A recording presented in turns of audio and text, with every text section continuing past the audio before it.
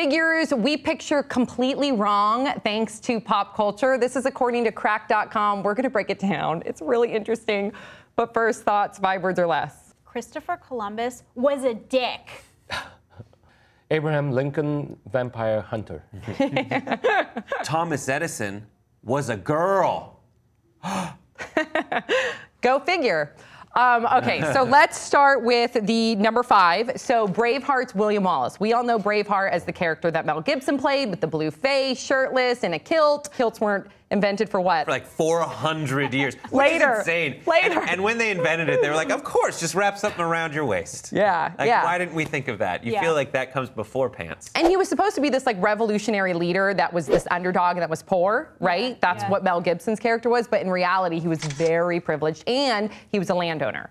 Huge, huge discrepancy Right. Not there. to say, that's not to say that he wasn't still in charge of this movement and an imposing, Right. crazy person. But then you would lose the, the that whole scene, that mooning scene, that and then the, can't! the movie would be completely different with that. What I I like that they, they would keep the mooning scene. They'd be like, one second, gotta take off the armor. Okay, take off my cape.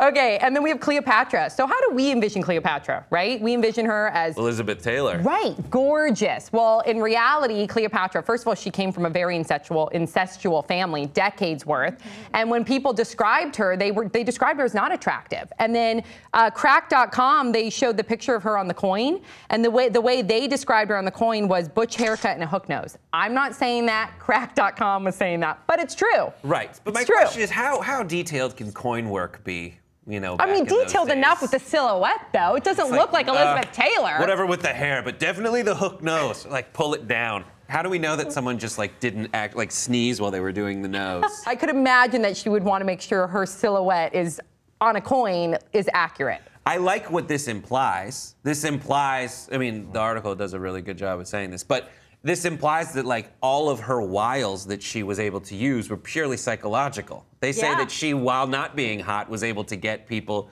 through her sexuality and Yeah. also just through her cunning to get people to do what she wanted. Yeah. And she didn't have to rely. And they say that later on, people were like, oh, it's just easier to say after I gave her my kingdom that she did it because she was hot. Well, for, for one, I, I think a butch haircut and a hook nose sounds uh, pretty attractive to me. I agree. I love it. Okay.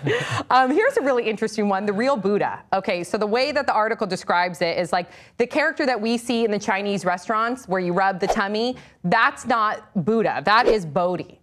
Okay, and Bodhi was an eccentric, hilarious monk, also a Buddha, but not the Buddha. Right. Right, who was actually not big at all.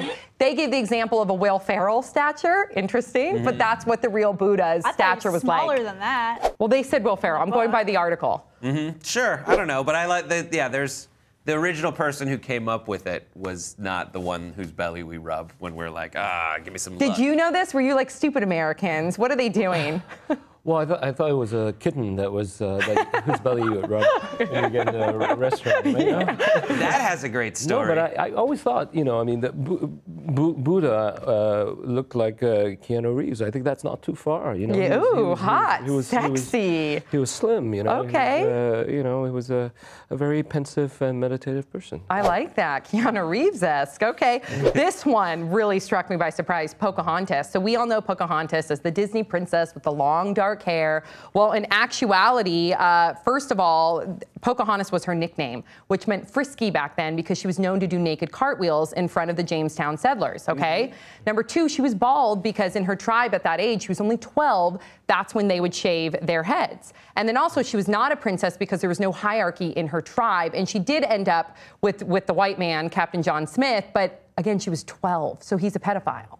But he didn't. They they didn't have a physical relationship. Not at all. That's what all the documentation Okay, says. good. They didn't have a, a, a physical relationship, but she ended up marrying John Rolfe and going overseas and living Yeah. and living that life. I only Okay. have one question. Uh, Yes. Does she have a hook nose?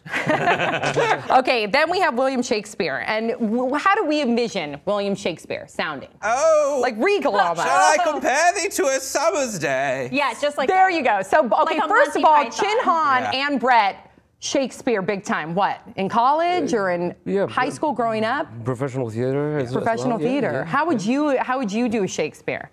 Uh, to be or not to be, that is the question. Whether 'tis nobler in the mind to suffer the slings and arrows of outrageous fortunes. Wow. Very noble and Yeah. regal. Yes. Well, no, not the case. Apparently, he sounded like your drunk uncle doing an offensive Irish accent, which I feel like Brett will be perfect at. And in fact, he read he he wrote a lot of smutty poetry. Like I mean smutty. You're gonna you want to read the smutty Yes. poetry? I don't. I don't know if I'm. Okay, so it starts there and ends there, and then I'm gonna interpret what it really meant back in the day. All right. Okay. And so from hour to hour we ripe and ripe, and then from hour to hour we rot and rot, and thereby hangs a tale.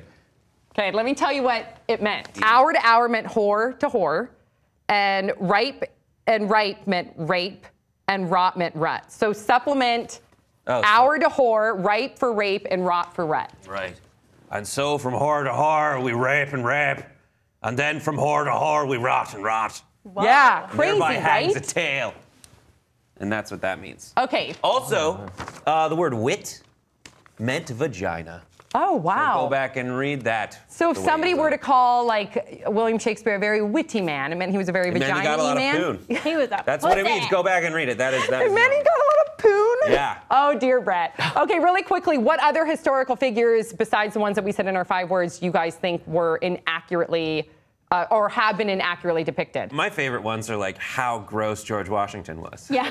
Like George Washington was like a weirdo with like wooden teeth and just stunk. All right, so what do you guys think about how Hollywood has changed the portrayal of these historical figures? Please share your thoughts in the comment section below. Don't forget to subscribe. Also, make sure you check us out on Hulu. New new episodes every Thursday at 9. See you guys all next time on Pop Sugar.